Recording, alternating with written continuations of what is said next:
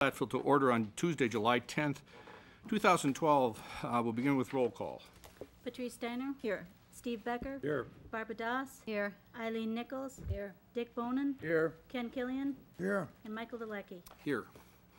Um, First on the agenda tonight, we have a special presentation regarding our 2011 audited financial statements from Johnson Block and Company. So we have about a 10-minute presentation of where we sit as a city. Al, if you would come forward, please.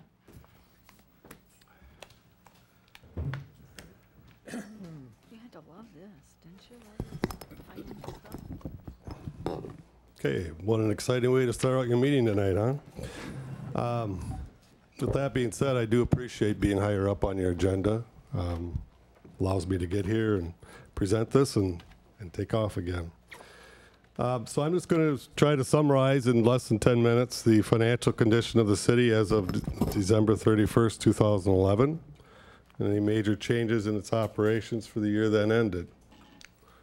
With that being said, I'm not going to try to go through the audit report page by page, so I will just um, lead into generalizations about the report itself. Uh, We've given an unqualified opinion on the financial statements, meaning that they are fairly presented in all material respects in accordance with U.S. generally accepted accounting principles. Um, uh, That is the highest form of opinion um, you can get on your financial statements from an auditor. As you look at our opinion, you'll also note that we mentioned GASB statement number 54 was implemented in 2011.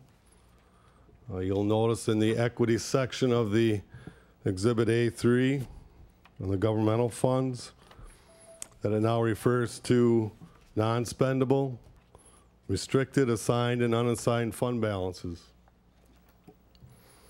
Uh, Non-spendable will re- refer to items such as prepaid items, um, where you've uh, obviously put out the money for, uh, whether it be prepaid insurance, something of that type.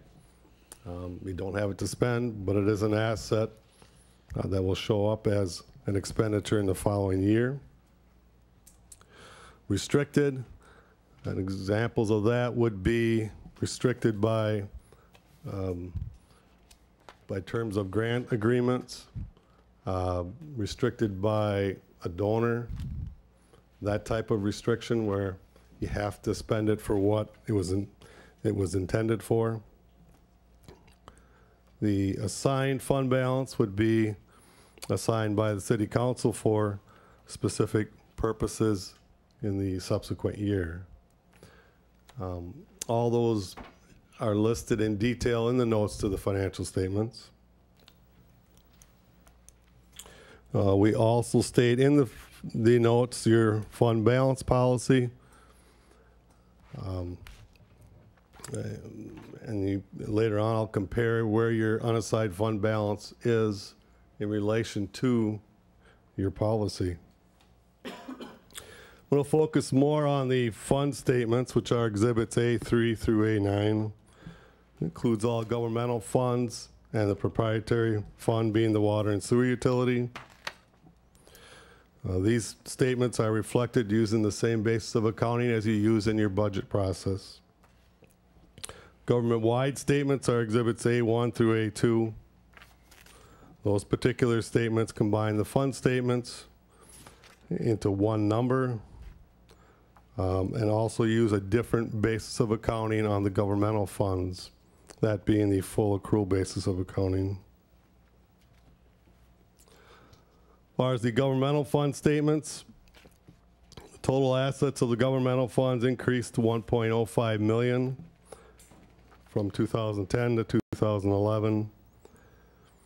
Of this, $620,000 was an increase in the due from other governments. Most of that representing three larger amounts that were still not received on grant requests. One was $175,000 due from the EDA for a stormwater retention pro- pond project. Another was $623,000 due from the State Department of Transportation for a highway project. And I believe a great portion of that was to reimburse the city for some land purchase, purchases connected with that project. $134,000 was for a, uh, actually a 2010 project on Mineral Street. Um, We did note in our report on internal control that we felt the city should review its procedures as far as um, requesting grant reimbursements, and that these items were still outstanding when we were here for field work, which was uh, the middle of May. Normally, most grants uh, at least allow you to file quarterly claims. Um, So we felt you need to look at that. Uh, These seem to be outstanding for too long a period of time. Total liabilities of governmental funds increased 4%. Very little change in that, in that area. Total governmental fund balances increased $617,000 to $5.8 million. Significant increases where revenue exceeded expenditures were found in the general fund, $388,000 increase. Capital Projects Fund, which had a $315,000 increase. And TIF number eight, which had a $361,000 increase. Significant decreases where expenditures exceeded revenues We're in TIF number five, um, at a negative $247,000. TIF number six, negative $284,000, and TIF number seven, $229,000. Your unassigned general fund balance of 2,954,896 represented 39.9% of your general fund expenditures for 2011. Your policy, as I mentioned, that we disclosed, is to maintain a minimum level of 20%. So while that appears to be well over your minimum fund balance policy, um, I would also note that your shared revenue for 2011 was approximately 2.7 million, of which 2.1 was not received until November. So it seems like there's a um, significant reason to have a fund balance uh, that is much higher than the 20% recommended in your fund balance policy. The statement of activities for the governmental funds. Total governmental revenue increased 13%. Approximately half of this increase was attributed to an increase in in- intergovernmental revenue. Much of that related to the stormwater and the street grants that I mentioned previously. Total governmental fund expenditures increased 5%. Most of that in the capital outlay function. In 2010, the police building was constructed for approximately $3 million. That was offset somewhat by the related increase in street construction projects of about 1.8 million in 2011. I did uh, review the City of Platteville's expenditures in comparison to nine other, 19 other similar cities in the functions of general government, police, fire and ambulance, and street maintenance, and found the city was about around the average for all 20 cities.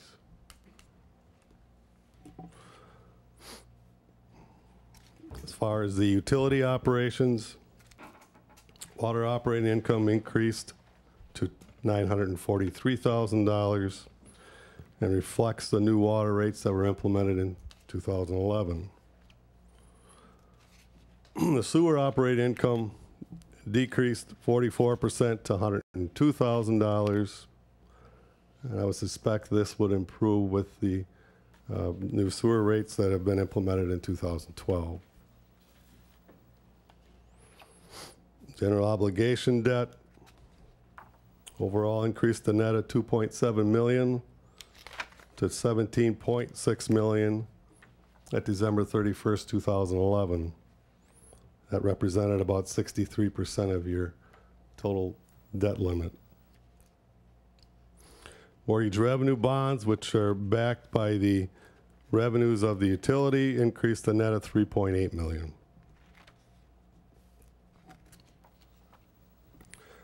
Overall, the city ended the year in good financial position. Governmental fund balances increased 11.8%. And it appears the general fund balance is providing an adequate cash flow, along with some flexibility should there be cuts to outside sources of revenue such as state shared revenue.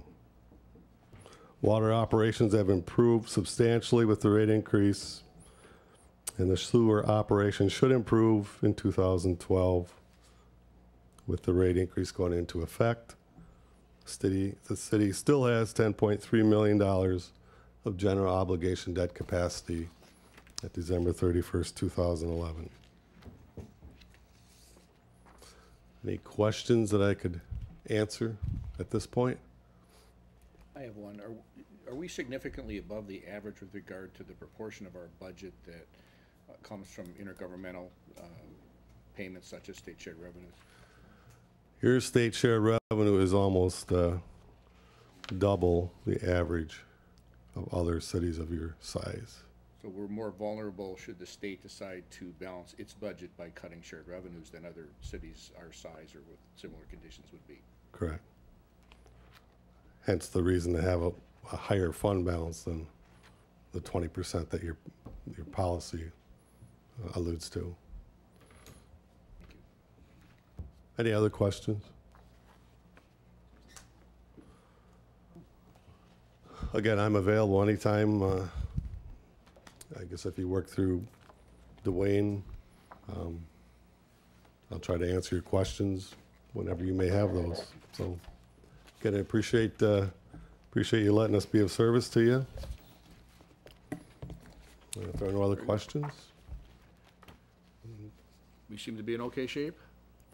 I seem to be in good financial condition. Okay, that's probably the one thing we want to know more than anything else. Thank you. Thank you.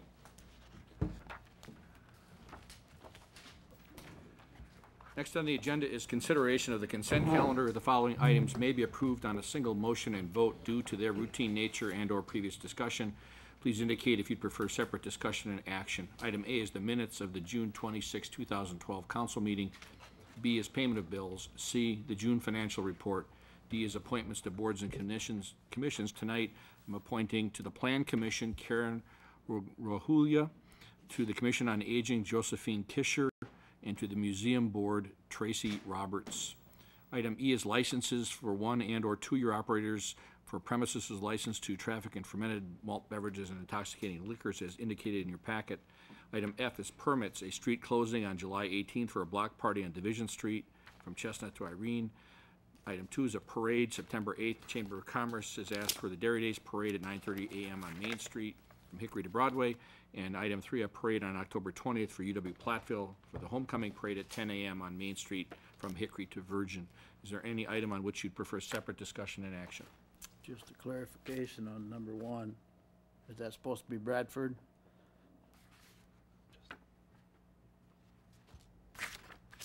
I'll have to go look in. Division, Division Street, block party. To Bradford, not Irene. It's Bradford. Bradford, sorry, it's wrong. item. Okay, Can we assume that's a typo? believe it is.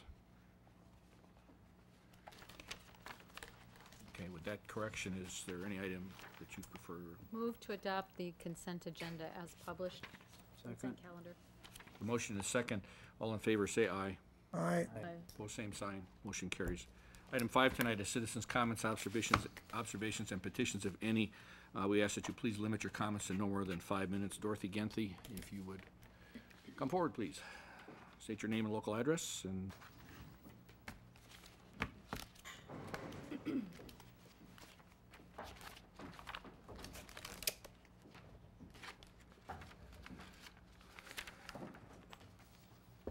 Hello, my name is Dorothy Genthy. I live at 160 Jewett Street in Platteville.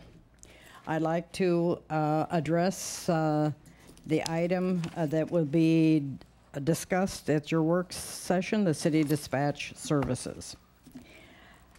Um, I don't know how many of you ever used 911 Uh, most of you look like you're pretty healthy and uh, maybe not of the age where you would need to use it. I'd like you to consider the things about keeping the dispatchers. Number one, safety to public as well as safety to police officers in the city of Platteville. Uh, two, delays through county can't be helped because county has a call list with ranking order of emergencies. County calls are served according to degree of emergency. The county will issue hold all radio traffic for a major incident, which could mean a great delay. If someone would fall and uh, probably uh, break a leg or something, but still weren't critical. Costs. Unemployment of police dispatchers means severance pay by past practices. All benefits and fringes plus unemployment costs plus job loss for Platteville. The county will have a need for more personnel and incur, incur more costs for taxpayers at the county level. Response time to emergencies determines your insurance rating for homeowners as well as businesses in the city. Lower rating, higher costs. This includes fire and EMT as well as police. This is a citywide issue as well as a township issue because they are in our fire district. Delay in response could result in lawsuits. Officers responsible for more paperwork causing more office time and less street time plus overtime. Each officer will need computers to develop individual reports instead of dispatcher reporting for state and federal, or I should say, state and county reports. Some statistics from the year-end reports uh, for the city of Platteville. In uh, 2011, there were 610 911 calls. There were 46,000 phone calls to the dispatcher, which were not 911 calls, but which would be uh, concerned, considered by some people to be very important. Uh, also, that includes people from uh, visitors to our commu- community. 130,054 radio transmission calls to officers. We have a combined dispatch experience of 130 years in our Platteville Police Department. They have saved lives, babies, prevented suicides, um, also taped things that uh, items like, for instance, the car bomb and the, um, um, I believe there were some rifles or some guns in a certain um, vehicle. Um, and 911 calls, uh, the dispatcher activity, 911 calls, and which had 610 also all other uh, hour after hours calls. Uh, radio transmissions, I mentioned how many those were.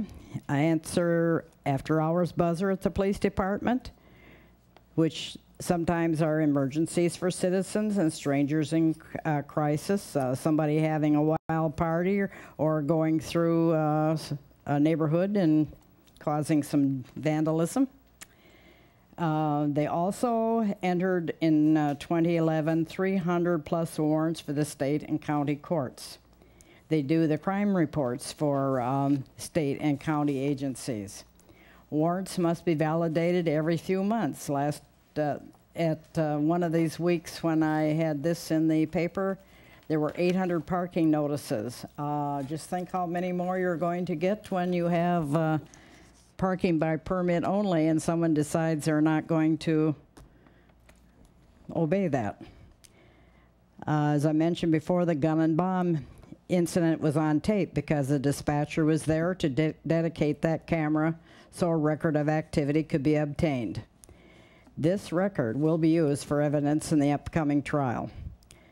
The Platteville Depe- Police Department is a backup for the Grant County Sheriff Department, and the Grant County Sheriff Department is the Platteville Police uh, Department backup. Without a backup, the dep- in department um, for severe weather, without a backup department, uh, severe weather could wipe out the dispatch facilities, and the county could be without police communications affecting the entire county. S- For instance, a tornado, if it took out the tower or for the sheriff's department. Senior citizens need reassurance that someone will help them. The sooner, the better. The population of seniors is growing in Platteville. They're coming from all over the area and even from out of state because of the services that are available here. They're expecting a certain level of service for their activity and for their safety. At UWP, an additional thou- thousand students is being recruited this year. This means more incidents, which calls for more services, more parking tickets. Parents sending their students to school want not only education and infrastructure, but also security, safety, and quality of life. If there is not safety or security, they may not send their students here. Now is not the time to offer less for our citizens as well as the incoming students. We need a good impression of our city. Grant County has qualified personnel, but the call volume will be overwhelming. The county is only required to take 911 calls, so where do the other 46,000 calls go? Severity of calls may not be clear, clearly indicated to the county dispatchers. Persons calling may be in shock or unable to give clear instructions as to needs, locations, or leaving the dispatcher to guess about the situation. Local dispatchers know their public, streets, dwellings, where people work, and often what family member to call. This would not happen at the county level. Every citizen has a right to feel safe, have calls answered promptly, not on as an available basis. Uh, I'd like to tell you about my experience this last January. Putting out salt so that I would not fall. I did fall on the only spot that I didn't cover. I called on my cell phone. I will try to find someone for you. Not the right thing to do. It's not the dispatcher's fault. You probably had a whole list of things or calls that you had to deal with. Usually, you get service within five minutes in this city, something you should be proud of. It goes back to response time. I called again after better than five minutes and got no response. Got the same thing, wanting to know if I'd hit my head or if I'd broken anything. I don't know, I hurt. I was out on the cement and uh, it was cold, and I'm glad that it was a mild winter. It was almost half hour before I got any help. I don't think people in this community want that situation. I certainly don't want it again. Thank you. Michael Mayo? State your name and local address. Michael Mayo, 375 South Chestnut Street. Dorothy was, you know, very, um, eh, with all the information she gave us, was, was fantastic. The statis- statistics, the numbers, which are very impressive. Our police department works hard. We could see by just the calls that we hear in the middle of the night. Where do we go? Where do any of uh, the citizens go without a dispatcher. We get thrown into the Grant County program, and if there is an emergency, does that Grant County individual know where that street is located? Can that Grant County dispatcher tell that so tell that person directly on how to get to that location? No. Our dispatchers do. Our dispatchers know the city. They live in the city. They are a major part of the city. And without those services, the city will be in really bad shape. I mean, look at us. We're a city that's growing. We have all these new students coming in. They don't know where they're going, so they're going to wind up at the police headquarters. Get information to find out what's going on, if anything. Nobody's going to be there. Patrolmen are on the road. You've got calls that have to be contained by the, the police department who may even be sent to the wrong address because the Grant County person may not understand the enunciation of that individual. Our people do. Our people know where the town, where the, these, in, things are in the town. Our people are confident and they know what they're doing. To throw or to, to remove the dispatch service would be akin to be being abusive to the rest of the city. We're, suppo- we're told we're a friendly community. I don't want to go into that because we have enough problems with regards to parking. And every street we have has limited parking or restricted parking. I really wouldn't want to be have a party and tell my people that well you can't park here and you can't park there, but this is a friendly town. But we have dispatchers that know every nook and cranny in this city, every way to go around any obstructions. Grant County people don't. And it's incumbent upon you, the city council, to keep them and to make sure that not only the citizens are protected, but the citizens can rest assured that there is somebody there to help them. Thank you. Moving on tonight to reports, committee reports, uh, Plan Commission. I have nothing to add. Tourism Committee, Nothing to add. Library Board, Nothing to add. Museum, nothing. Mission on Aging. Packet also is other reports, the June Airport Financial Report, the June Water and Sewer Expenditures and Revenues Report, and Department Progress Reports. Any questions or comments on those? I was reading through the uh, road work in town, and it seems to be moving along pretty well, and I think, uh, what did I see, two or three weeks, and we expect Washington to be done? Uh, Maybe a little bit more, but it's, it should come in a little bit early, yeah. It should come in early. Have, have the electrical issues been resolved on Second Street? It seems like that project is not moving very fast. The, uh, the electrical issues are, are finishing up. Uh, By the end of next week, uh, Alliant and CenturyLink should have all of their lines underground and services switched over that need to be done. So here in a couple of weeks, our contractor should be able to come back uh, and finish up the work on the street itself. Is it still on schedule to be done before the first of September? Yes. Cool. Anything else? Thank you.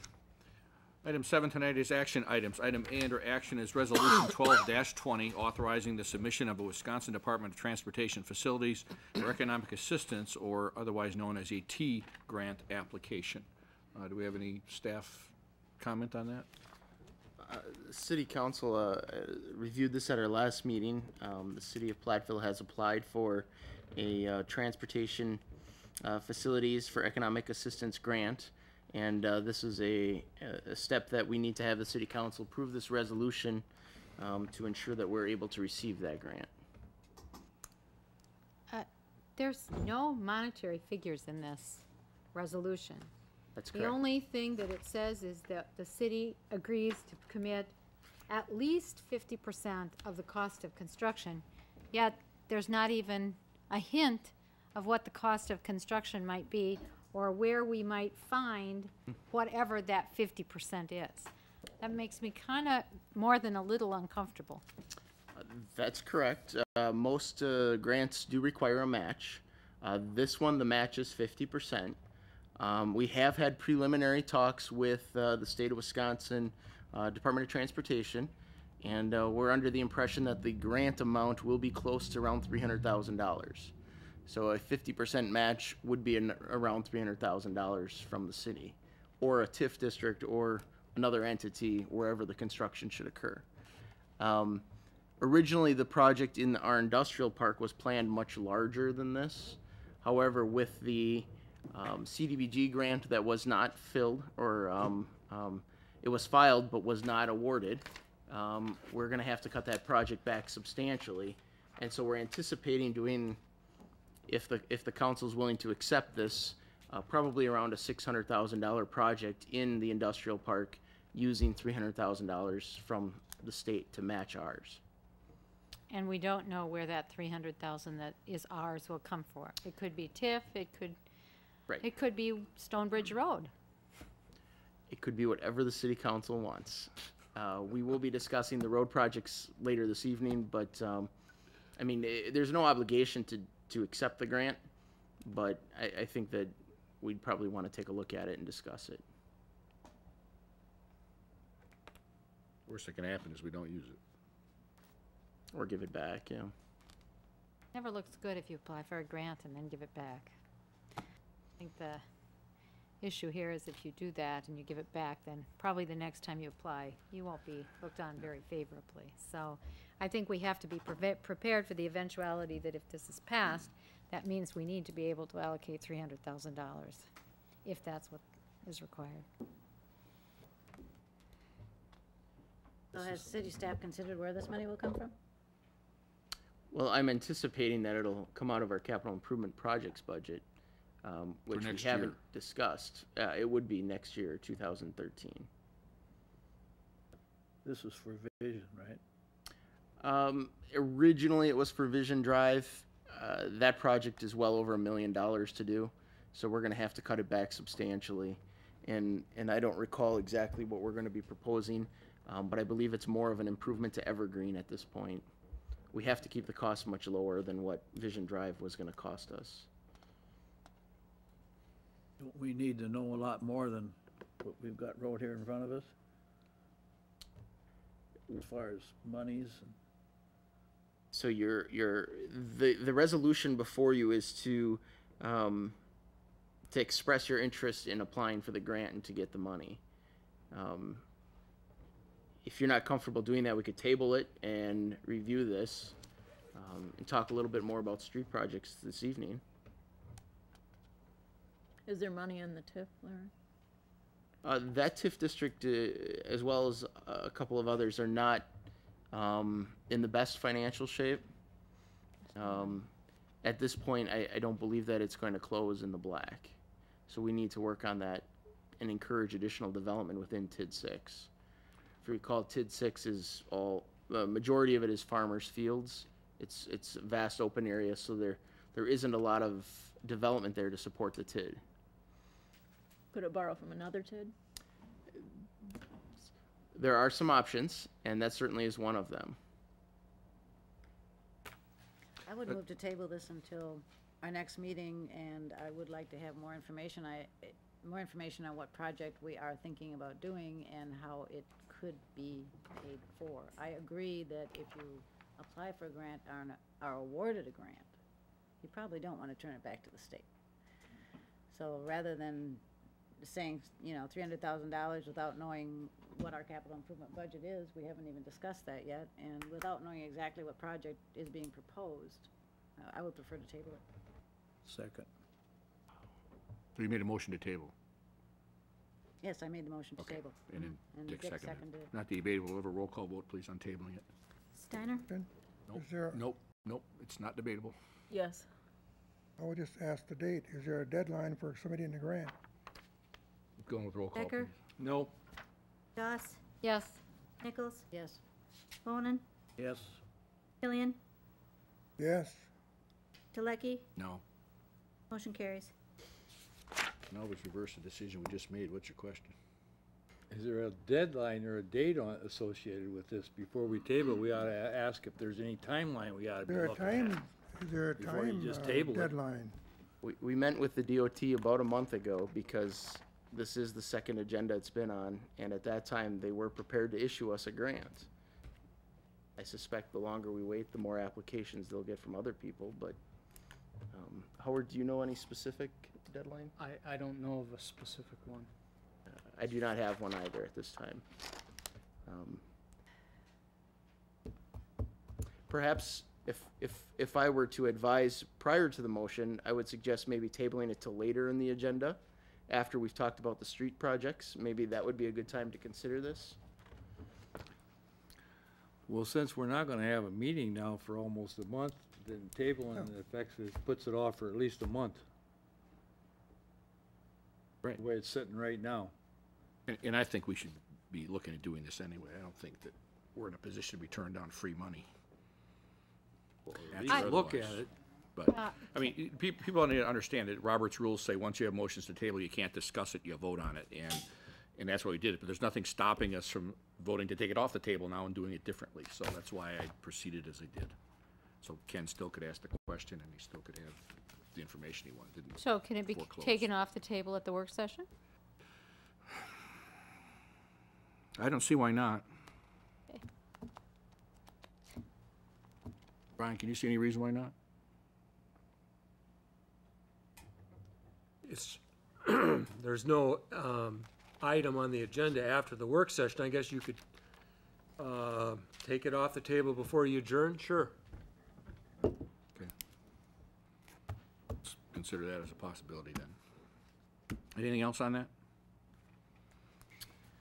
Item B tonight under action items is Resolution twelve twenty-one, borrowing resolution in the amount of hundred and seventy-five thousand dollars for the Avalon Theater on behalf of the RDA. Do we have any staff commentary on that? Uh, Yeah, just a little background, the State Theaters owns the Millennium and the Avalon Theaters. They need to upgrade their projection and sound equipment to go digital. Uh, The industry is going all digital for their movies. And then basically, if they want to stay in business, they need to make that uh, transition. Uh, The Millennium, due to the number of screens that they have, uh, is able to tap into some uh, loan in, money from the industry itself, but the Avalon does not qualify. Uh, So they've made an application to the RDA for some financial assistance to that. It, basically, it costs seventy-five thousand dollars per screen approximately, so it costs for the Avalon about two hundred twenty-five thousand dollars to make this uh, conversion. Uh, The RDA uh, considered this request. Uh, That is more money than they have available of their own funds, and they also wanted the applicant to have some additional equity into it. So they, their recommendation is to approve a, a loan of hundred and seventy-five thousand uh, for a seven-year term. They would prefer, the RDA would prefer that the city borrow the money, because we can borrow it at a lower rate than the RDA can. Uh, That would basically be a pass-through loan to the uh, state theaters um, to allow that conversion. Um, Basically, as it is, uh, the, the RDA is looking it, it's a, an important business in the downtown area. We'd hate to have that closed down uh, and have an empty building to deal with, so they would prefer to provide some assistance uh, to them. So their request is to have the, the city borrow the hundred and seventy-five thousand dollars. Uh, Mound City Bank was the lowest uh, proposal at one point nine percent with a seven-year term. Uh, And then that would be loaned to state theaters for that conversion. Are there any questions? Will this affect our, our bor- borrowing percentage? It- It would go against the city's borrowing, since the city would actually be doing the borrowing under this request. And a related question to that, the next uh, item on the agenda also requests uh, borrowing. Is that, a- that's two hundred ninety-two thousand.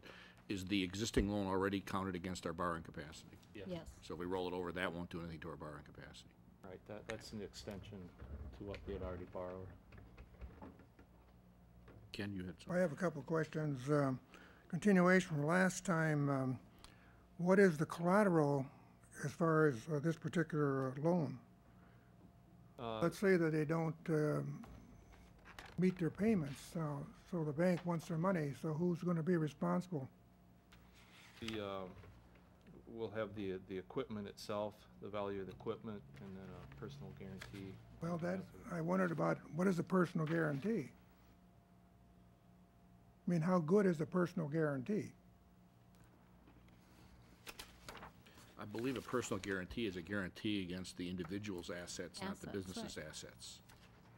Is that going to be listing the assets of the person? Like if I went to borrow for a house, to make another, to build another house, would my house be collateral? Would we, would that be my assets? Is this what's going to happen here? Uh, wh- Whatever assets the, the individual has available, um, tap into, I, I don't know exactly what that amounts to for Mr. Dion. homes would typically be collateralized elsewhere on other issues. It wouldn't typically be part of the personal guarantee. Is the building held free and clear by them, or is there a mortgage on the building? There is a mortgage on the building. We don't know what percent of its value that mortgage is. I think we did, but I didn't bring those papers along. Uh, the, the gentleman, Mr. DeYoung, shared his complete financial picture in closed session with the RDA. And it was after a complete review of those statements that the RDA made this decision and asks the city council to, uh, borrow this money so that we can pass it through to him. I think that, uh, there were, uh, that those statements were scrutinized in closed session, which is kind of where you would look at someone's personal financial statements. So the RDA felt there was sufficient collateral and security against That's this loan? correct. And the bank does too. Well, the bank, the bank's got the city to pay it back. So I'm sure they were comfortable with this. Any other questions? Mr. Mayo would like to hold forth on this. Would you please come forward, state your name and local address?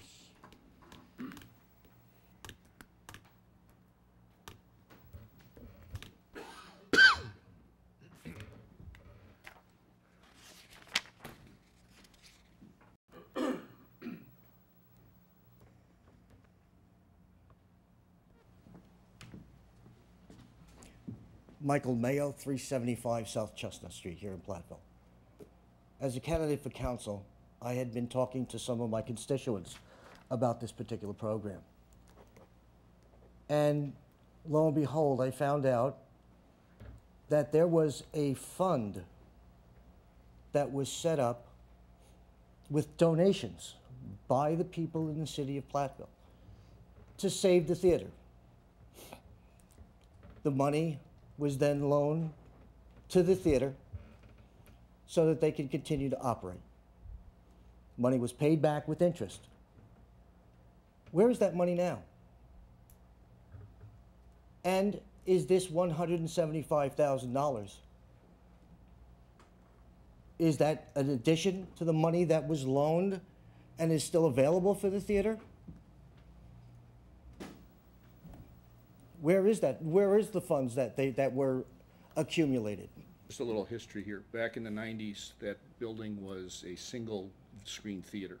And as movie habits changed and so on, they felt they needed to go to a, a multi-screen theater. And at the time, uh, they were able to secure financing for all but about hundred thousand of the needed renovations to take the older facility and turn it into what we have today, leaving a fairly sizable, uh, theater for major movies and the smaller ones for, for other ones. Uh, That money was raised by a group called Building Platteville Incorporated. In fact, I was fairly heavily involved in that group. And the idea was that we would raise that money, uh, loan it to the theater project, which was at the time the Blaybaums, and that's, by the way, all been paid back since then. Uh, And then they would pay it back, I think, over ten years was the, the time period, and that money then would go into a revolving fund that could be used to support other projects in the community. And so, uh, there still is a building Platteville, uh, and so far as I know, there still is money there, but that's unrelated to the current owners of the theater. That money was paid back and no longer is part of what If they have that going on. money was paid back, as you say, that money should still be available, correct?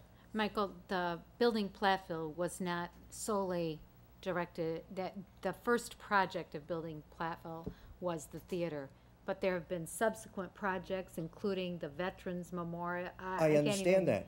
But, so I think that the other money has been loaned. Dorothy, are you on the board?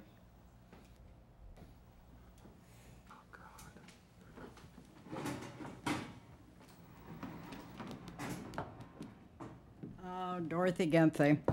The money has been loaned and reloaned and reloaned again, and at the present time, there may be fifteen thousand dollars, and maybe not that many, but uh, we have had most uh, pretty successful loans, but no sooner are they paid than they're loaned out again. So we do not have much more than maybe 10, 15,000 at this time. And Building Platteville is a separate entity from the city. Pardon? And Building Platteville is a separate entity from the city. Yes, private- it's a definitely. private It's a foundation. private uh, type of 501c3. thing. Uh, 501c3, I believe it's called. And um, yeah, if we had it, we certainly would, would loan it to him, but we don't have that. Thank you. So no one knows right now where any of the funds are, wh- what, the- what's Well, left, it- right? it's- it's not a- I understand that. But it's not a city, it's not a city department, Mike. When, when you get uh, fifteen thousand, say among six or seven uh, different entities. Excuse, me. excuse me, We'll we, discuss that later. we, we need, that, that money is a private foundation, the city has no claim on it. And so where it is, we would not necessarily know because it isn't our money and we don't have anything to do with it. Just like any other private foundation. You know, how much more can the city borrow, or is the city of Platteville now becoming a bank? I mean, you know, yes, you've got a great interest rate at one point nine percent, but I don't think there's mutual savings and loan next to the city of Platteville. And when you take approximately four hundred thousand dollars out of your borrowing budget, that's a considerable amount of money.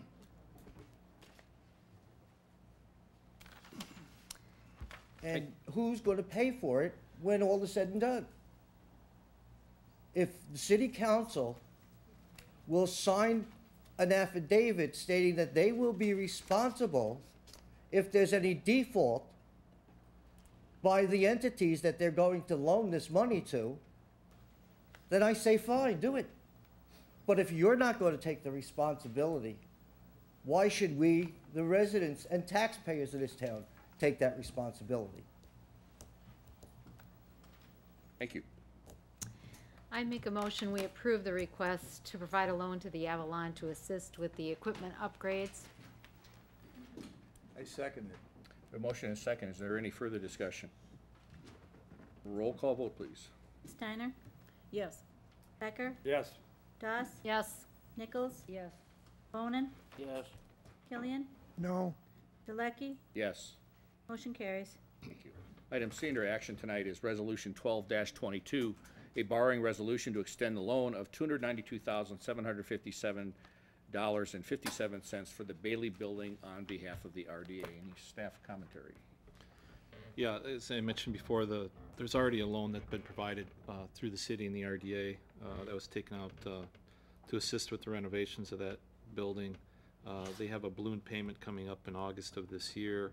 Uh, They're trying to get some additional equity built in that project so they can do some um, long-term financing through conventional means.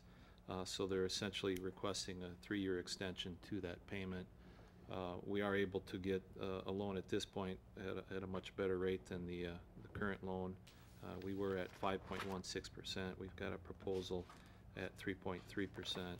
And so the request would be to take that loan out in that amount for a, a three-year, uh, loan for Bailey Group LLC.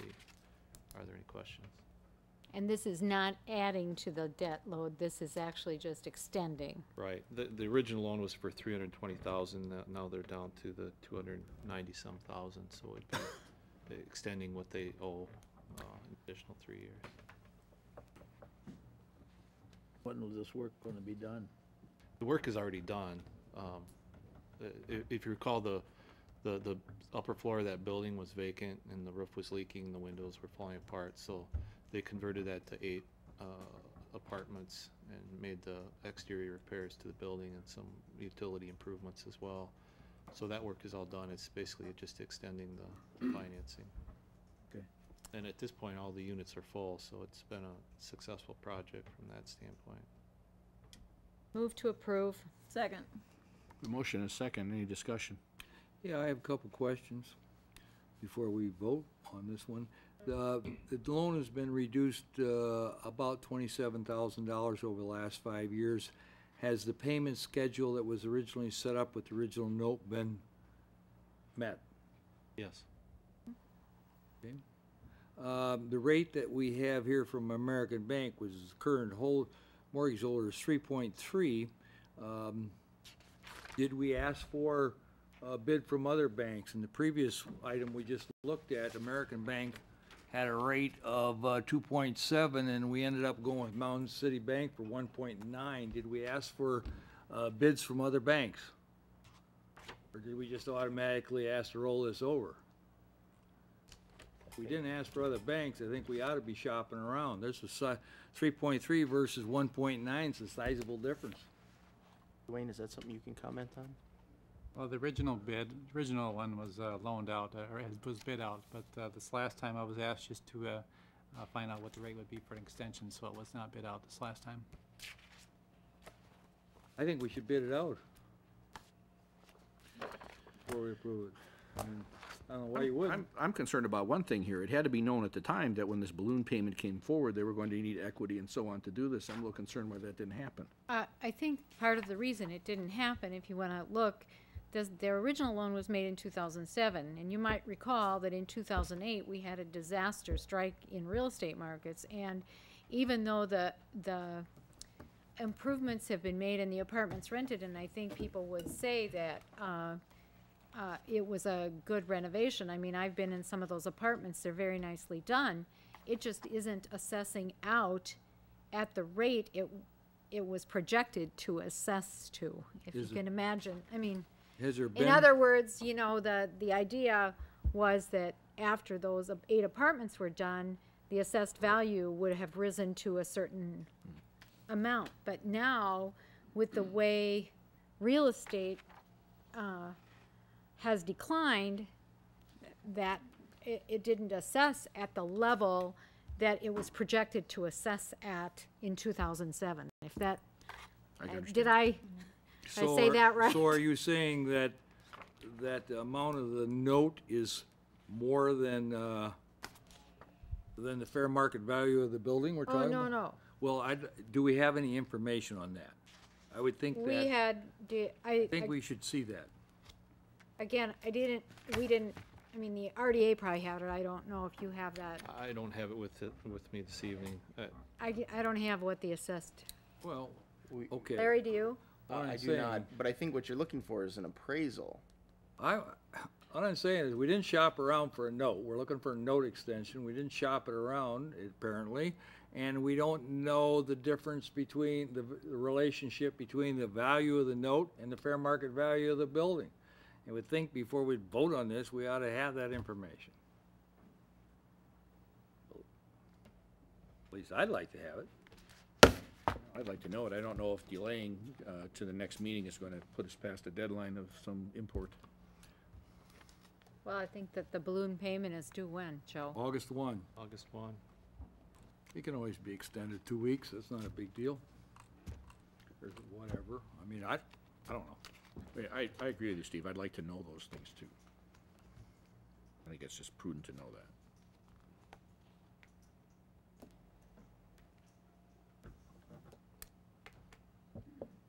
Anything else?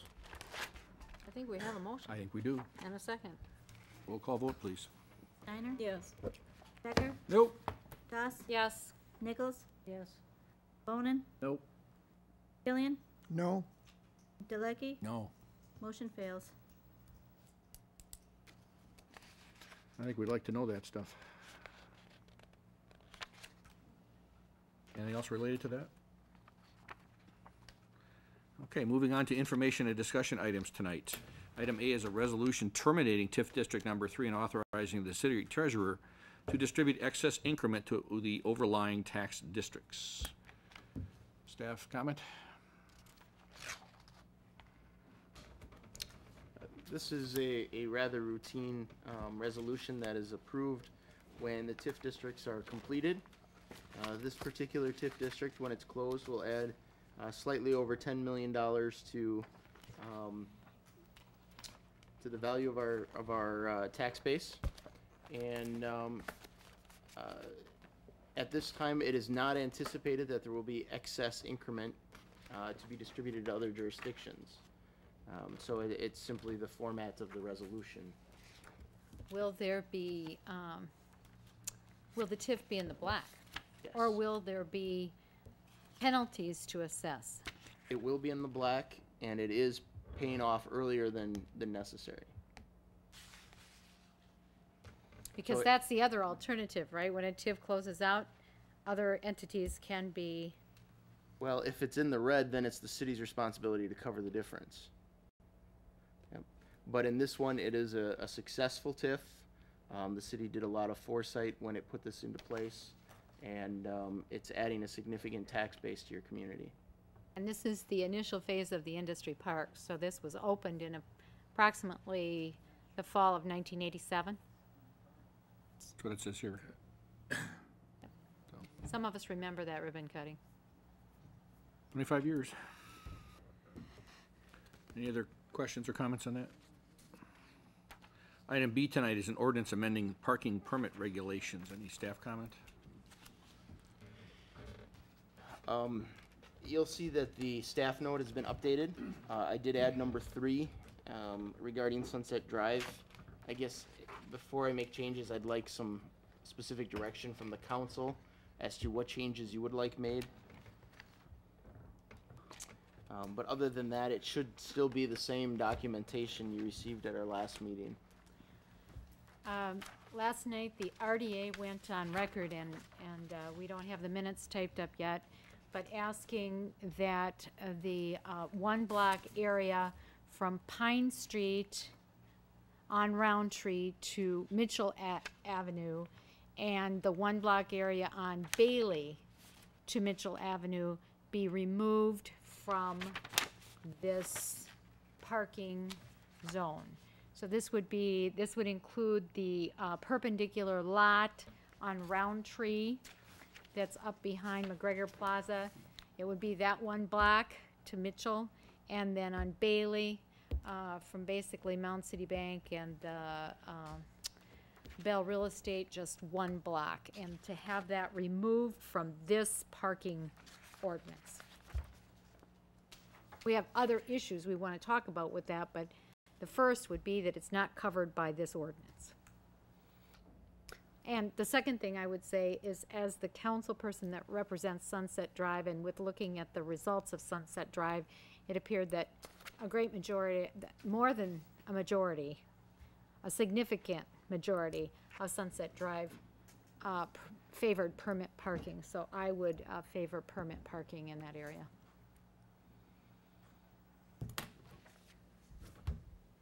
I'd like to see those changes made too. If anybody else has any feelings I about that. have some comments about that. So the RDA has uh, recommended that part of Bailey to Mitchell uh, be included. um, So I'm looking at that, and that's the area I said last time that uh, people have uh, c- complained about as far as the parking. Now, I've given out tonight a um, proposal, and uh, Barb, you said that per- perpendicular parking will be recommended by RDA, is that correct? Uh, In a Along the, subsequent um, meeting, we would expect for the R, the RDA to come back and talk about uh, what we might call residential or overnight parking in city-owned properties, that being one, and having that be permitted and likely leased parking. So, but at this point, we just, first of all, it has to be taken out of this parking zone for that. So that's what, this would take it out of this ordinance, this parking area in this ordinance. So I do not favor um, removing Bailey from the restricted parking area and making that, uh, I assume you're saying here, some parking for uh, uh, residents from Main Street. I, um, I am in favor of the perpendicular parking between Pine Street and uh, Mitchell Avenue. And um, I looked at that some as far as um, improvement of that area, and I would like to go through that just briefly. I measured the other day the distance from the um, uh, bushes there where the, uh, in- the indent starts, and it's 276 feet, which is about 27 stalls. And I propose, propose here a uh, fee of $20 per month, which is $240 per year. uh, times 27 spaces is $6,480 per year. And this would be, of course, uh, an area signed differently. Uh, It would be paid permit parking. And then um, neighbors and myself would like to see improvement of the area as far as appearance and uh, put in landscaping in front of the uh, cars, uh, between the cars and the fence and the roof. And I called up a major um, um, landscaping company and uh, found out that, for example, junipers would cost uh, about $120 for a six-foot tree, and that figures out to be about 40 trees along there, which is $4,800. And then there's some shipping costs. I wanted to do, to do this to get some idea as to the feasibility uh, of this particular project. So the landscaping is to hide the ugliness of the roof. There was original landscaping there when that um, plaza was built many years ago, and that landscaping has uh, uh, died. There's only a small amount left. So the source of the funding I'm proposing here, as far as the, the landscaping, is from the perpendicular parking. Uh, the last thing I have here is the Rountree House. Uh, they would like to have the sign in front of them uh, removed and moved down to the end of the retaining wall. Uh, and the purpose of this move is so that the pictures don't have to have this big sign uh, in the picture of Rountree House. So this is what I uh, believe in. I believe that we should not be taking the Bailey part out. I'll go along with the uh, area along Rountree perpendicular parking, but I don't believe that the residents of that area should have to be solving the problem for Main Street parking. Main Street should be solving this problem closer to where the residents live, where the employees are. And don't put that problem in the neighborhood. As I said twice before, neighbors have complained about this parking, so I'm not against. What's the problem with against it. Bailey's uh, Avenue, Ken? What problem do you have with that? The neighbors, Not Rountree, the, the what's your neigh- problem? it's, it's neighborhood parking, it's parking in the neighborhood. Ken, um, I, I believe that it would be highly likely that the RDA would come back in terms of Bailey, asking that that be no overnight parking. So if your issue is that Bailey uh, Avenue would become an overnight parking space for downtown, I believe that that would not be the case.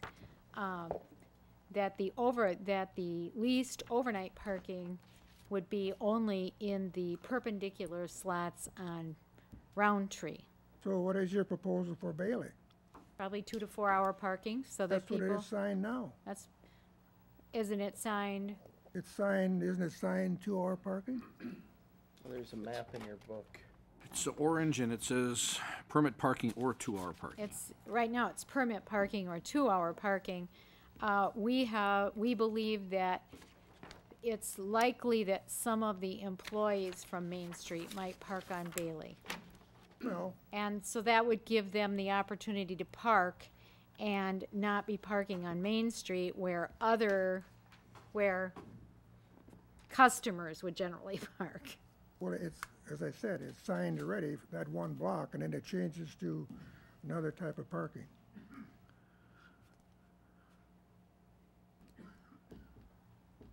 Other comments on this?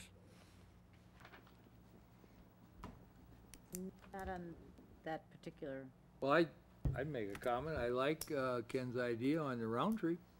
I I- think, and I think the, um, the idea of improving the looks of the area with any revenue that'd be generated from uh, overnight parking, renting out, that would be a, a nice uh, improvement for that area.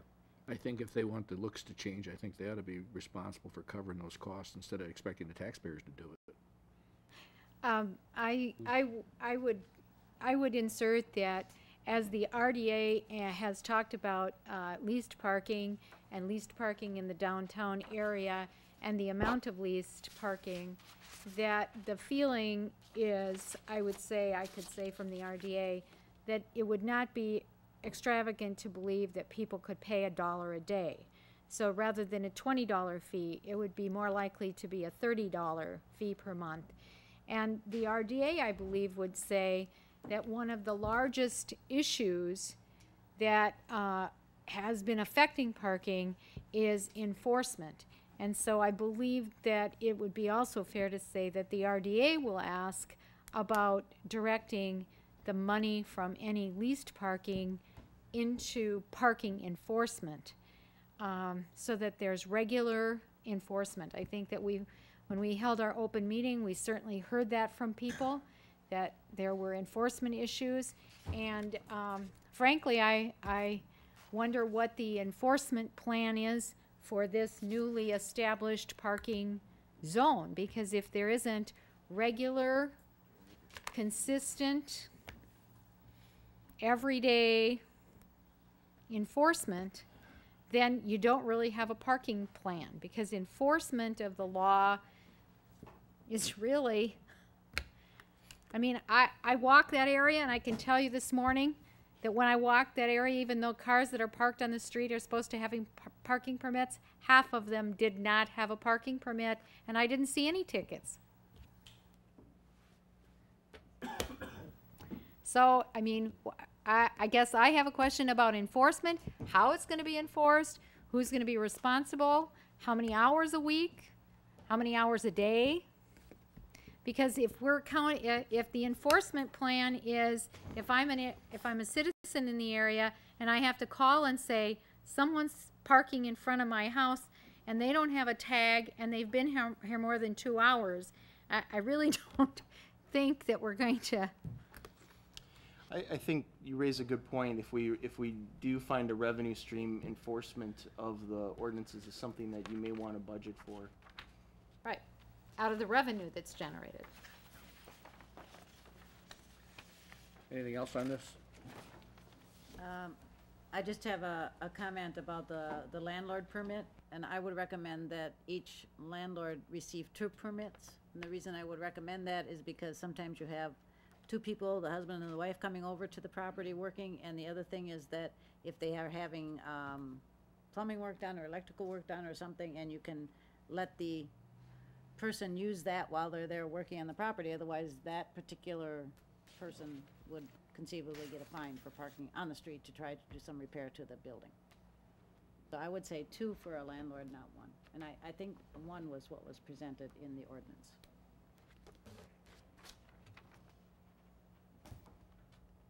I um, have another um, little document here I'd like to talk about.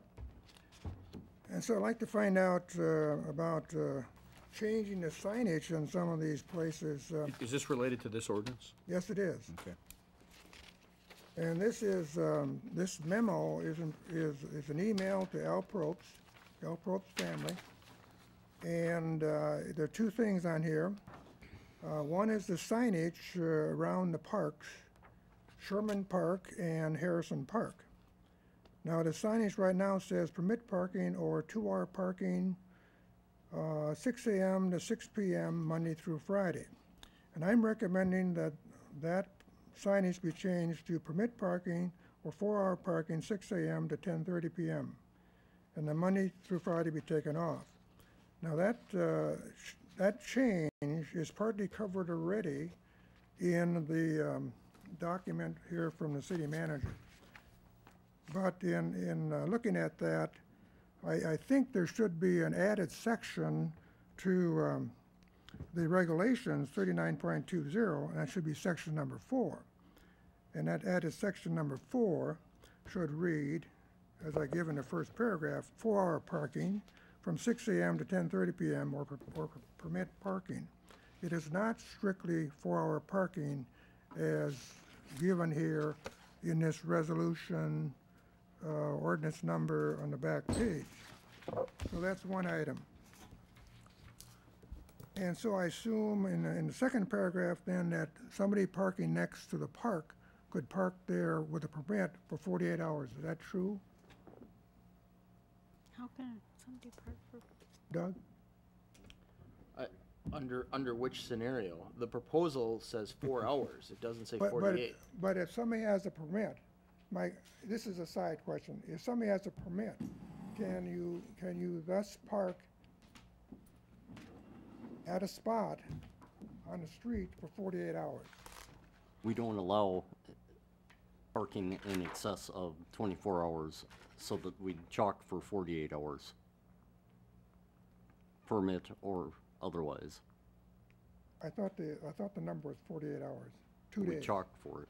Yeah. What does that mean? We go out and chalk the tires to see if the vehicle has been moved. And if it's not moved in the twenty-fifth hour, you ticket it? We go back out and we have, It's twenty-four hours, not forty-eight? it depends on the areas that you're talking about, but for the, Okay. the zone that you're Uh, talking. So there is a regulation, Yes. either twenty-four or forty-eight? Yes. Okay. I know about it because I've gotten a ticket. You pay it? I paid it. Good man. Good, good payment. Okay. Uh, the next one is, um, the bottom here, the ordinance. um, Um, the Probst family would like more than, they'd like more than the four permits. And they're not the only family that wants more than the four permits. And so I'm not speaking just for the Probst family, but for another family at least uh, in the same situation. So, in looking at this paragraph then, he's in disagreement with the part that says owner occupied dwelling units may apply for an additional resident parking permit annually for each licensed driver up to a total of two additional permits. And I interpret that to mean that when we put that in there about owner occupied, that the concern is about renters? Maybe I didn't interpret that correctly. I think the ordinance uh, would have to be changed to issue a license, a, a uh, permit to every licensed driver in the family. And I think one, one way to solve this is to use the definition of family from the limited occupancy residential overlay district, which is in section twenty-two oh five one four B. And that, uh, there's one definition there, there's three of them actually. The one I'm referring to in, in the case of the Probst family and the other family is that a family shall mean one of the following groups. One, any number of persons, all of whom are related to each other by blood, adoption, marriage, or legal guardianship, along with up to one roomer or boarder not so related, living together in one dwelling unit as a single housekeeping entity. And there are two other definitions of family, and I won't go through those. So my recommendation is that uh, this portion of the um, ordinance be recreated, and this would be uh, part of 39.211, and that the section be reading as follows.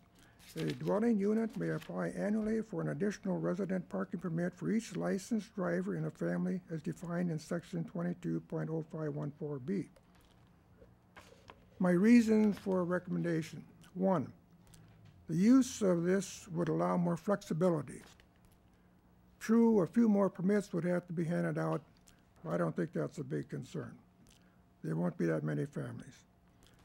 Secondly, the use of the definition of family in 22.0514 would prevent the, prevent the issuing of permits to more than uh, two where three or four unrelated people live in a dwelling, if that is the concern.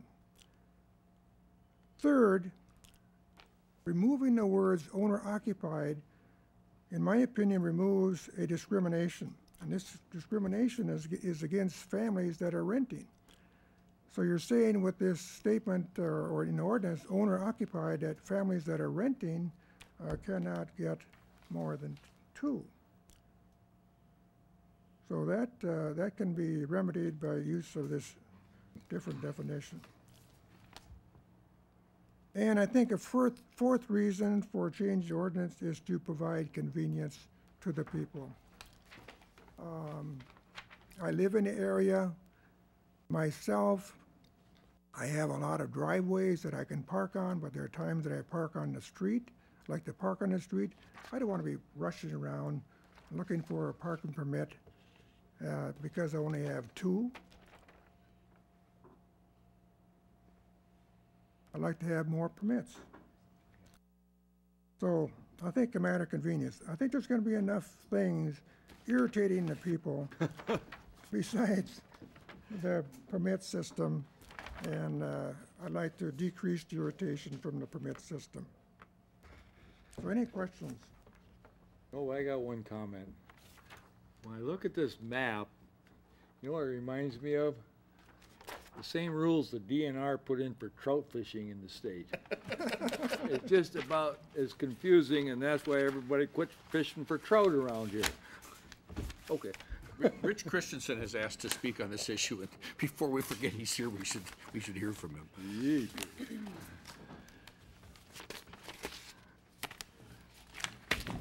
Hi, Rich Christensen, 10 South Third Street here in Platteville.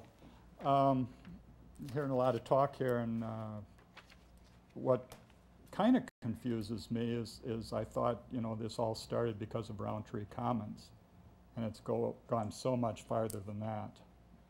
Uh, I, I guess the biggest thing is, you know, as uh, Alderman uh, Decker was, was talking about, you know, the sheer area and, and all the different types of streets and, and colors and, and things like that. And, and I really wonder if it's all, all necessary.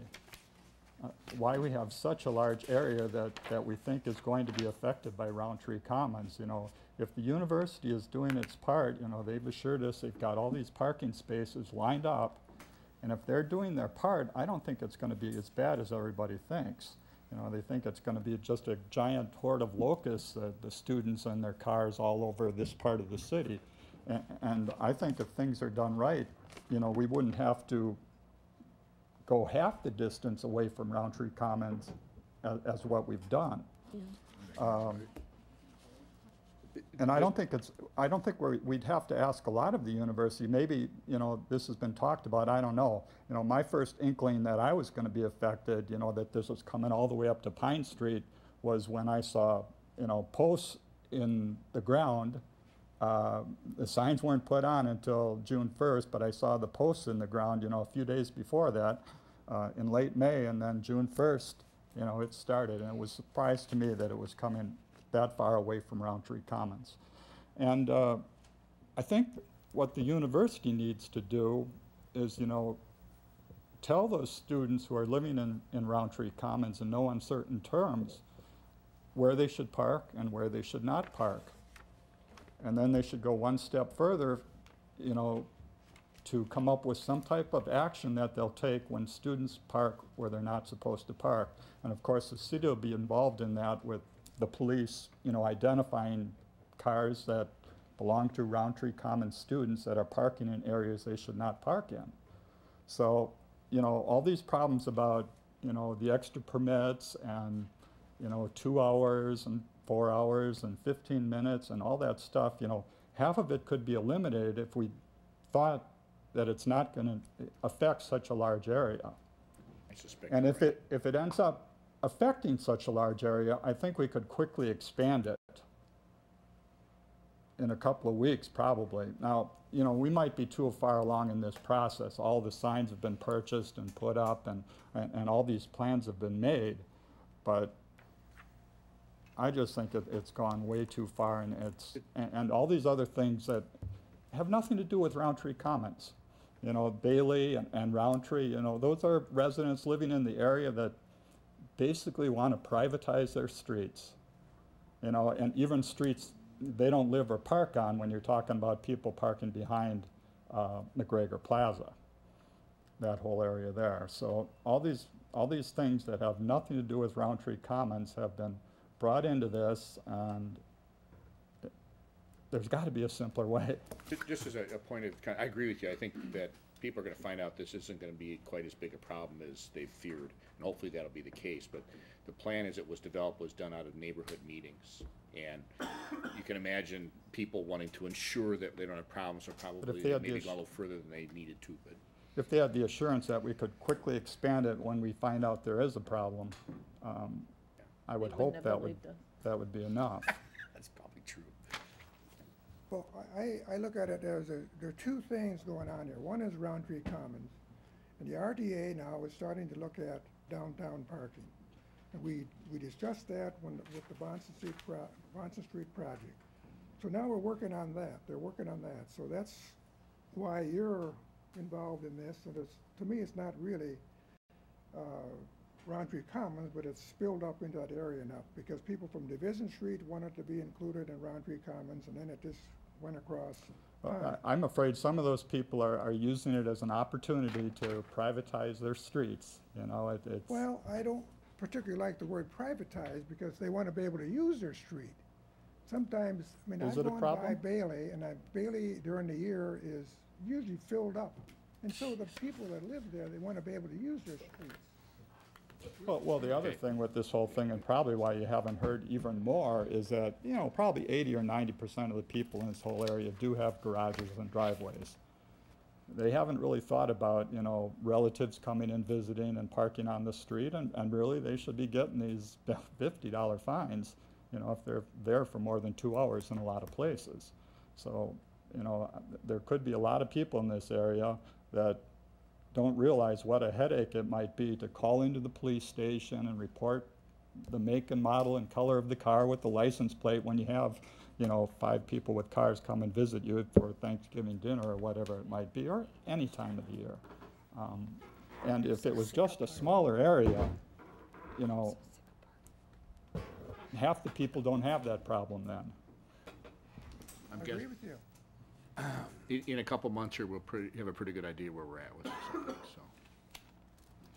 Where, where's the RDA at as far as uh, downtown and proposals? You- You're talking about paid parking, correct? Yep, we're talking about paid And you- parking. You haven't decided uh, precisely where this paid parking is going to be. Um, uh, we We will have be, possibilities. that will be, that is our August agenda. And can you, uh, can you find enough paid parking to meet the needs of downtown tenants and employees? Well, now that is a question. Because, you- I mean, we know how many apartments, but we really don't know how many tenants are downtown. I don't know how many people live in each apartment.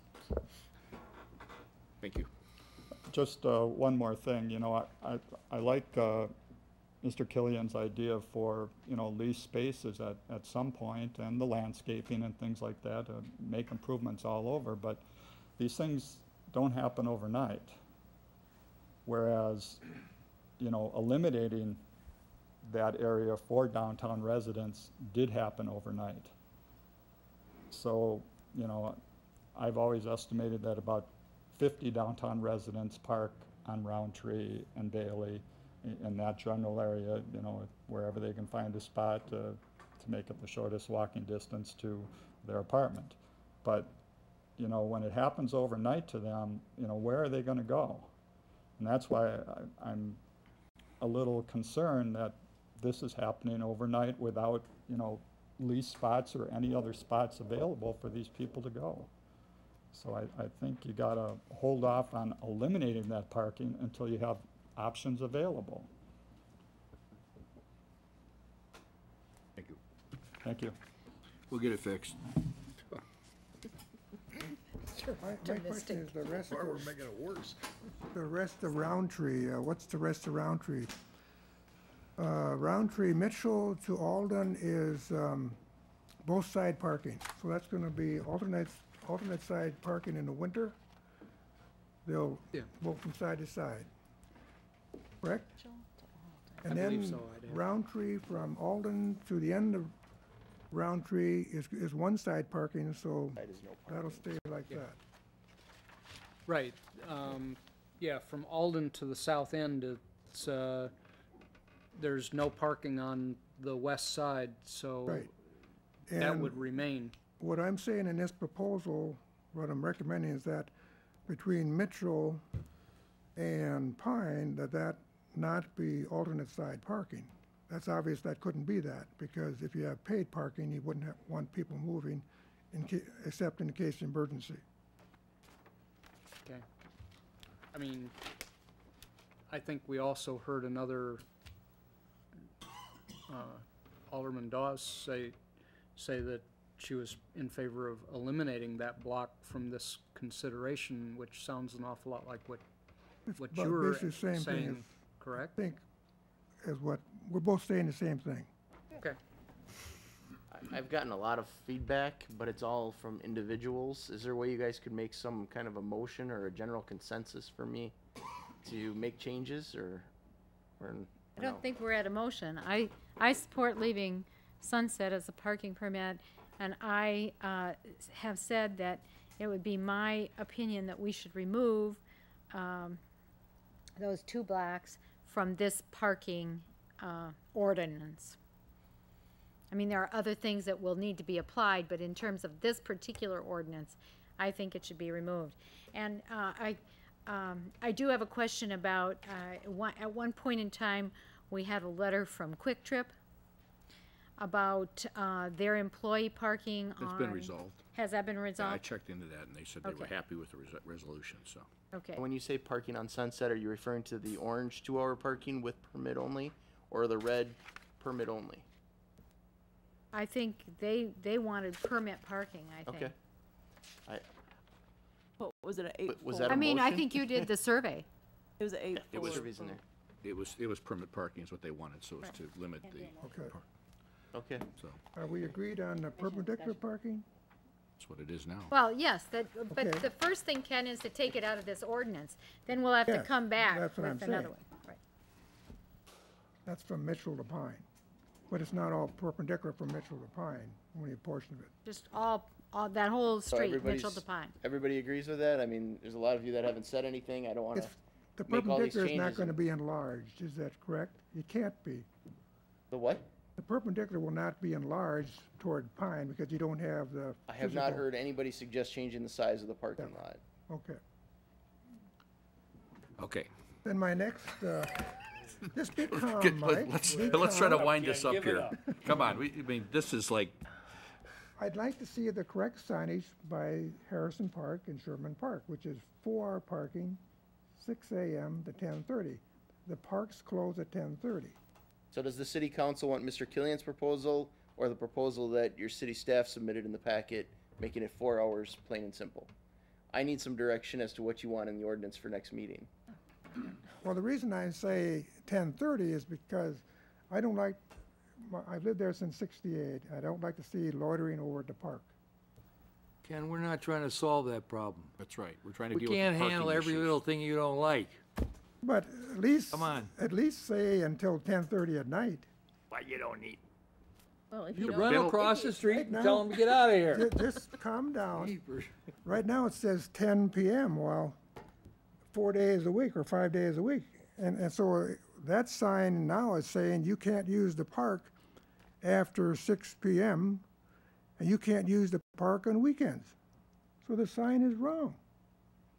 Then I think you should discuss that with city staff, and they'll correct it. Okay? If it is incorrect, then they will correct it, because it's just a mistake. And I don't think we need to change an ordinance to correct a mistake. We Well, have no you- need to you change do. the signs because the do. permit, the, the ordinance is changing it all to four hour. Four hours, but So why would we change the sign only to change it after you adopt the ordinance? I mean, But it's four hours around the clock, is what you're saying. yes, that is what the ordinance says. And until I hear otherwise from the city And- council, I don't know to make that change.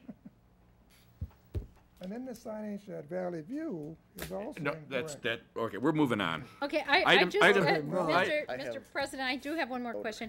I would like an estimate of the expense that has been associated with Don't the, ask that. the signs, uh, not tonight, but I would like it in staff notes next time. The expense that has been, uh, uh, how much has been expended on signs in this area and also the, uh, staff time to put the signs in. I'd like to know the cost of this project. I'd be happy to get that for you, your staff note. Uh, before we adjourn this topic, could I go over a brief review of what I have in my notes for changes for next meeting? No. Okay. All right. Take from Pine to Mitchell on Bailey and Rountree and take them out of the plan. Make Sunset Drive permit parking only in red.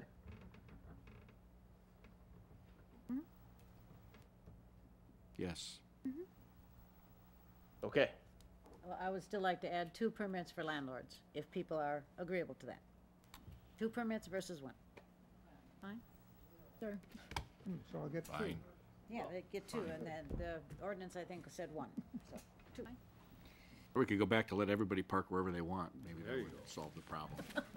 It might. all this discussion. Sorry, Why it was can't just in a just- moment of why don't we- lucidity that I offered that up, so. Two permits for a landlord, why can't we, if somebody, a landlord comes in and asks for an extra permit, why don't we just give them one?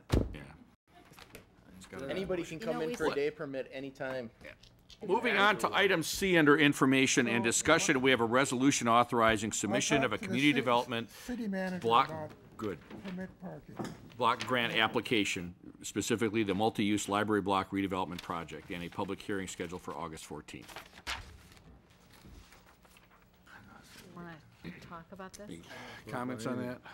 Uh, sure, I can do a brief uh, staff report. Um, the city council uh, approved at the library board's request a contract with uh, Economic Development Partners, a company uh, owned by Cindy Yagi, and they are issuing a grant application to the WEDC or the Wisconsin Economic Development Corporation on behalf of the library in the city of Platteville to apply for a planning grant to determine what to do with the library block and what kind of development could occur on that site into and including a possible library. Um, the multi-use library block redevelopment project is a application that we will see at a public hearing on August 14th. And um, once the public hearing occurs, uh, it's anticipated that we will get that application out to CDBG for funding. Uh, the request will be for about twenty-five thousand dollars to match the library's twenty-five thousand dollars for a fifty thousand dollar study, approximately. So we're doing everything we can to get the word out to the public that this is something that we're gonna be applying for. Oh, Larry, the resolution says after seeking public input, uh, the common council has recommended that an application be submitted to the state of Wisconsin. Yes. Um, so you're going to seek public input by having the, um, the Public hearing. hearing? On August fourteenth, yep. All right. And then you'll be asked to consider approving the resolution. This process is laid out on a public participation plan that the city council adopted four or five years ago. Any other questions, comments on that? Item D is a property owner notification policy for rental inspections.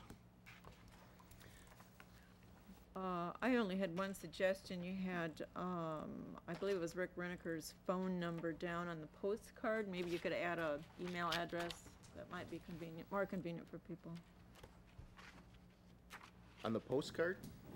Yeah, it says to call him. It is on there. Gives a It is phone on there. number, seven seven eight. There should be an email address on there, as well as the office Oh, number. it is there. Okay, sorry, I didn't see it.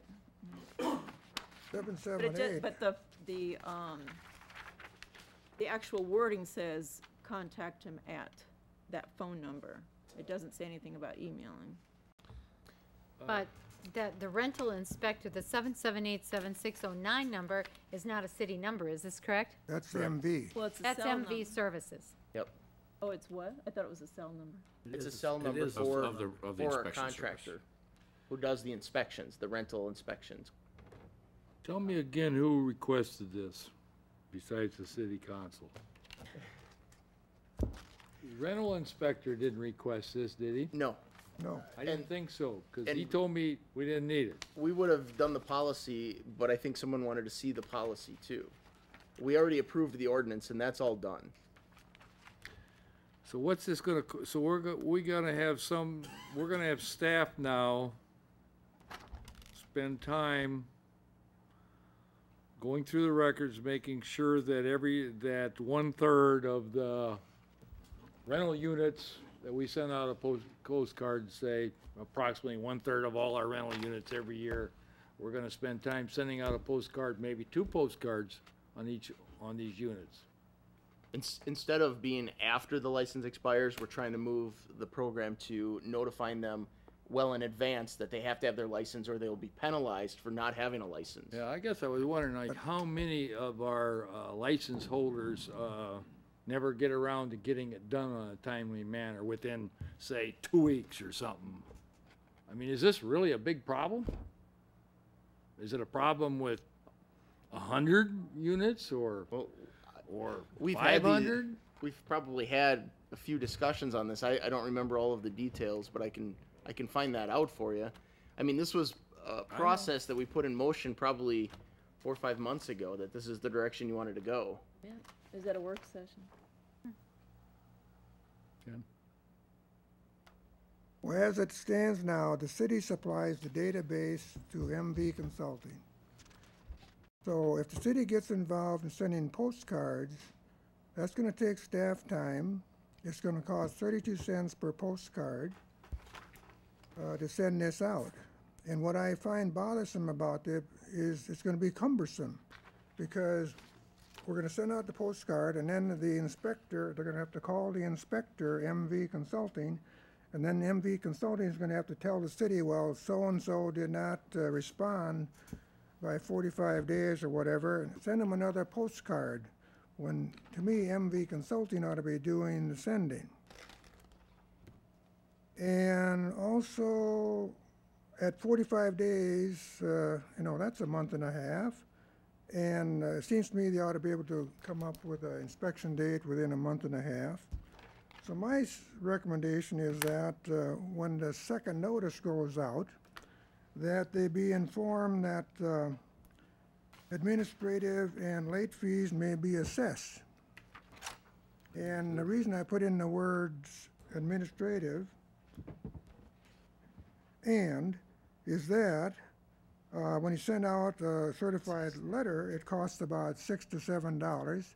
It requires about fifteen dollars worth of staff time, roughly twenty-one dollars to send out a certified letter. So what I'm proposing, recommending, is that administrative fee of twenty-five dollars be charged every time we send a certified letter out to get somebody to comply. We should not be doing this free. If the council wants to make changes to this, we certainly can. The reason you have this before you is because this is the direction you asked us to go. Well, I was under the impression, uh, Larry, that we were just gonna send out one postcard. I mean, can't, can't, uh, people be responsible for their own properties, and when they get a postcard, It's a great they question. should do something about it? The DMV doesn't send me two postcards to say that my driver's license is going to expire, or my car registration is gonna expire, I get one. Right. And so. I think at the time, the council wanted to make sure that there was enough notice provided. Well, ninety days is a lot. Well, yeah. we're happy to make whatever changes you want. I, I believe that this Well, is exactly what- what you had requested, and if you want to change it, that's fine. What happens now? How does that rental inspector know to call me up and say, you gotta, you gotta get your place inspected? 'Cause That's what he does. Yeah. Me too. He has the database. They look at the database. Oh, he and just see calls when me their up and license says, and I expires. said, okay, I'll meet you next week. My, Not everyone lives in town. either. My, and my understanding from our discussion and work session was that while you may call back, there are a lot of people who don't. And then we have the issue of no rental license. And then we have the issue of MV Services repeatedly calling people, and all of a sudden it's MV's problem that you don't have a license. And I thought that in this discussion, we talked about returning the responsibility for the rental license to the person who owns the rental property. Hence, like your driver's license or like your car license, you get a postcard that says, your license is expiring. It's up to you to go to the DMV and get your license or pay the fee. It's not up to the DMV to come to you. And so I fully support moving this direction. I and I don't like option one, where after two postcards, the city's going to make calls to people. I mean, I thought that this was, and, and you know, Patrice, I could support one postcard. That's what I get for my driver's license. That's what I get for my car license. But how many, pro- how many, how many units do we have that are past due on their licensing, approximately? say we got two thousand rental properties, I don't know if that number's units or something, maybe we got two thousand or twenty-five hundred. You know, how many of them are past due at any one point in time? At least twenty-two. Colin Buck. Right. I'm sorry, that's twenty-one. Yeah, well, those we know of. Well, we know that card's not gonna do any good.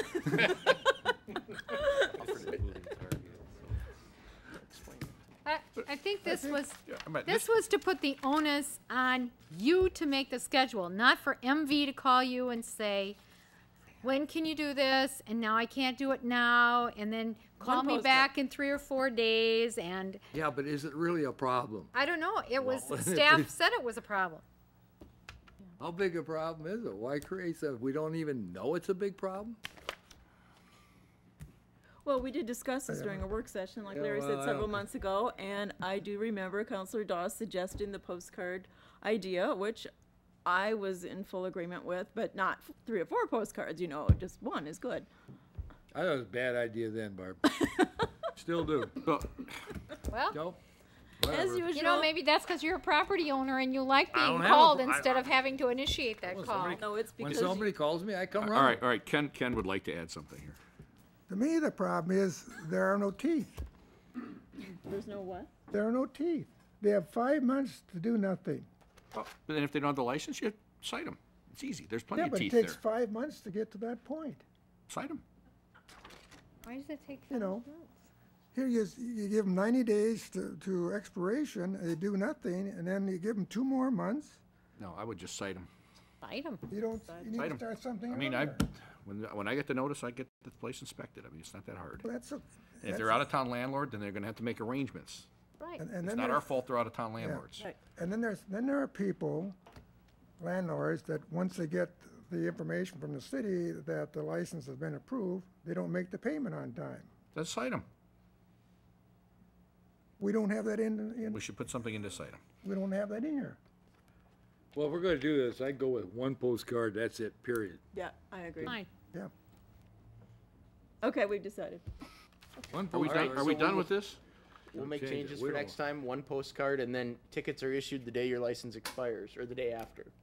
If you haven't made an appointment. Yeah, okay. If you Well, have- I'd I mean, like if to you've see- If made you the haven't made a appointment. reasonable attempt, I would like to see and a whatever. fee if we send a certified letter. Well, there's no certified letter. No, it's one postcard. No, a certified letter. the Certified I- letter. Why would we send a certified letter? We send them a postcard. They don't get inspected in time, they get cited. Yeah, right. Couldn't be simpler. One postcard. Keep postcard. it simple. They have a deadline to get a postcard. They, they know if they're in business that this is the regulation in town here, and if they don't know what the timelines are, then they need to do business better. I don't think we need to babysit landlords to make sure that they do everything on time. Do it when you're supposed to. Dick, do you have to get babysat in order to do this stuff? Oh, I don't know. Is that a trick I don't question? know. That's a trick question. I mean, this is like, come on, what? Let's, let's treat people like adults and expect them to actually do what they're supposed to do. You're gonna take out the certified letter one. I wouldn't do that if it were me. That's on their license I mean, I just expiration like, date. come on, I mean, if you're in business, you do what you're supposed to do to be in business. And if you can't pay attention to what the licensing requirements are, maybe you ought not be a landlord. Be responsible. No, be responsible, heaven forbid. Okay, I guess you're gonna take it out. I haven't heard anybody opposed to that idea, so as I understand it, we're taking it out. It will be back in your council packet for approval next meeting. Well, I can't wait to do item E here. Uh-oh, what's E? It's regarding the municipal citations for rental code violations. Oh, dear.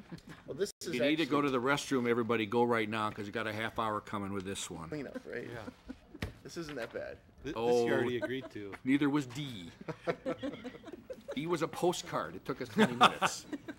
But now it's only one. Now we're on E. Ordinance amending Chapter 1 regarding municipal citations for rental code violations. This you guys Ken? already, already voted on, actually, so when It's you pretty modify chapter straightforward, so I have no thirty-three. comment. We already oh, voted. Anybody else? Oh. Item F, ordinance creating section 3.46, Community Safe Routes Committee. Yes, we found that the committee was approved by motion. All this does is it takes the committee and makes it a formal ordinance. The Safe Routes Committee already exists.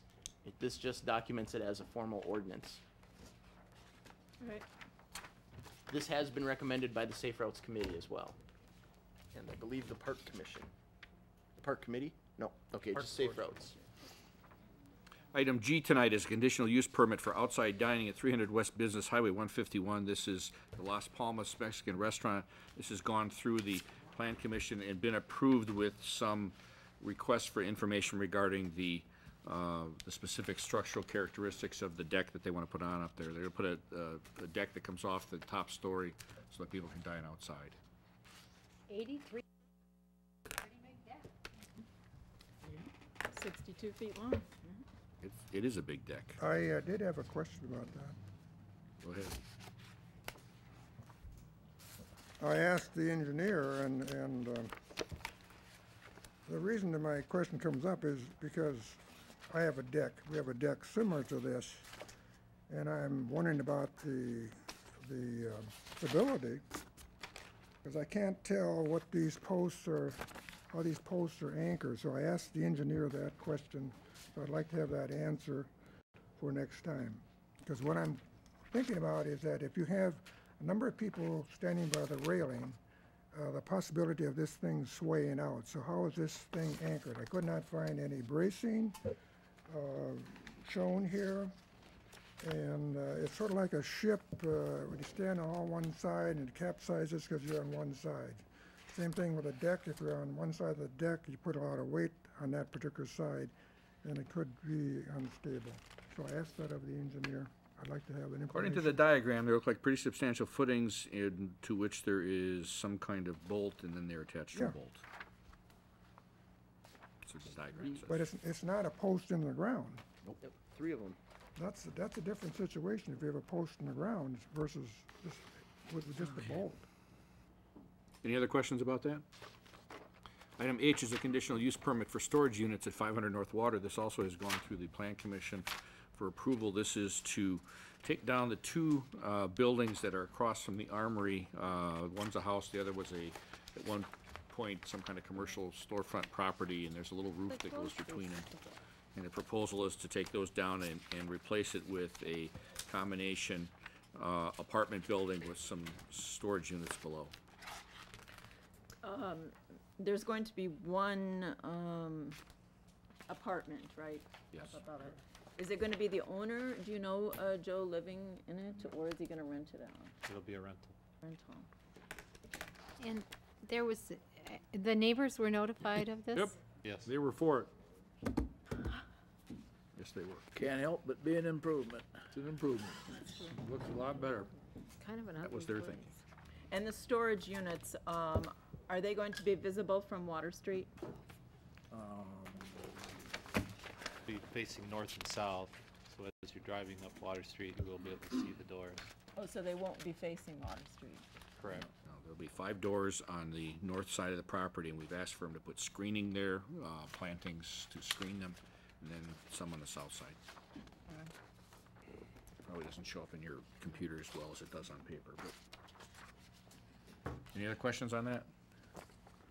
Item I is an amended initial resolution relating to industrial development revenue bond financing on behalf of UW Platteville Real Estate Foundation Incorporated, and I don't know, is this a staff thing, or Fred, do we have Fred do it, or what's the? It's a request from CD Smith, uh, Okay. Representative uh, Fred Rickers. Fred, you'd if like you him would to come speak forward to and it. tell us what you have on your mind here, please. Patiently waited through the meeting and I can see it. Good evening to you all. My name is Fred Rickers, 419 Venture Court, Verona, Wisconsin. Um, As I t- talked to you last September, we'd be back this summer to get ready to complete the financing for the Rountree project. Uh, We, you may recall, in September, you approved, as the RDA approved, a $25 million resolution, which we're asking to increase to $26 million. You you you will recall that the resolution is quite clear, and if you read the document, it again restates that this is- does not in any way constitute an obligation to the city, has no effect on your financing, your borrowing base, or your creditability whatsoever. It's simply a system under the Internal Revenue Code and Wisconsin statutes, which whereby, with this resolution, we can get a bond whereby the investor in the bond gets some tax exemptions on the interest that's paid. The reason we're here asking to increase the amount is quite simple. We, uh, Morgan Stanley will be assisting us in the financing of this transaction with some of their investors, and they've asked us to set aside a debt reserve, uh, an amount of $2 million. So this money will be put literally into probably a bank here and be held uh, during the term of these bonds for about 10 years and then distributed back to the investors, just to ensure that there's no risk to the investors or to anybody else in this project whatsoever. It's simply an additional debt reserve to make sure all the payments are made. It's interesting to note, uh, as I was discussing this with the folks in New York, I said, gee whiz, we're oversubscribed. You know, the project is, is, is as you probably have heard, uh, and you've discussed this evening, the student body count here at, at, uh, at uh, Platteville is increasing rapidly. I spoke with Chancellor uh, Shields just day before yesterday, no, yesterday. And, and the enrollment is, is just skyrocketing, which speaks, I think, very well to the university and the community. And, uh, and this, this project uh, was filled and committed for in February. So we're quite excited. And, and the other thing, uh, as I told you earlier, although it's not a concern of the city, is we're keeping the rents in this new building approximately the same as the rents in the other facilities, so that all the kids, not just the rich kids, can, can, can enjoy it. So we would hope that the, uh, the additional million dollar uh, authorization would be allowed. And again, it's only for a debt reserve that will be created for the project. What is the rent, um, per room then, Fred, do you know? Uh, wh- Who asked that? Did you- I'm sorry, Did- I didn't see. Um, The rent is, it's on a semester basis, it's, it's approximately, now, I'm, I'm, I'm gonna be close here. It's approximately twenty-five hundred dollars per semester, if I recall. Okay. Mhm. Dwayne, is there any r- reason that the city couldn't hold the extra two million dollars and get the interest off that? I don't control that. That would, that be great? I- That'll be done by Morgan Stanley, and what I'm, we're trying to do now is with the, with Wisconsin folks, we're trying to make sure it's, it's in Wisconsin. And a lo- logically, it would be held here in Platteville. So, Oh, I'm saying, but it should be held by the city. well, And we could realize some of the, uh, after all, although we have to. the- other the- people are realizing, there's kind of a fun word in my business called arbitrage, and we have to ensure the appropriate arbitrage. We have to earn money on that fund so that in fact it's fair to the investors. Otherwise, the Internal Revenue Service and other people get very, very upset with us. So, Barb, we just can't put it in your, in your, in your, uh, I just thought it'd be a good idea. yeah, idea. petty cash fund.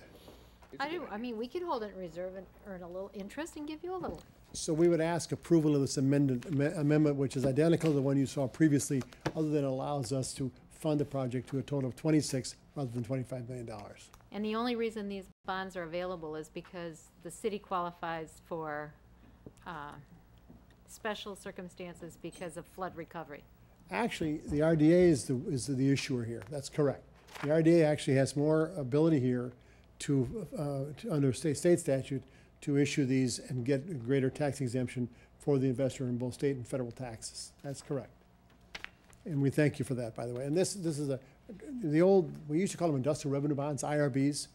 And this uh, type of bond is a result of the 2008 flood disaster that all of us in southern Wisconsin experienced. Boy, we could use some rain now. Uh, And these funds have to be expended by, which they will be obviously, by December 2013. So this will be one of the last projects of this nature in Wisconsin. Any other questions? Thank you. Thank you. Okay, um, that ends the on-camera portion of our meeting tonight. We're gonna go into work session and talk about dispatch and street improvements. We'll take a five-minute break before we do that, and there's the possibility at the end of the work session that the TEA grant, which was tabled earlier, may come off, and then we'll adjourn. Five-minute break.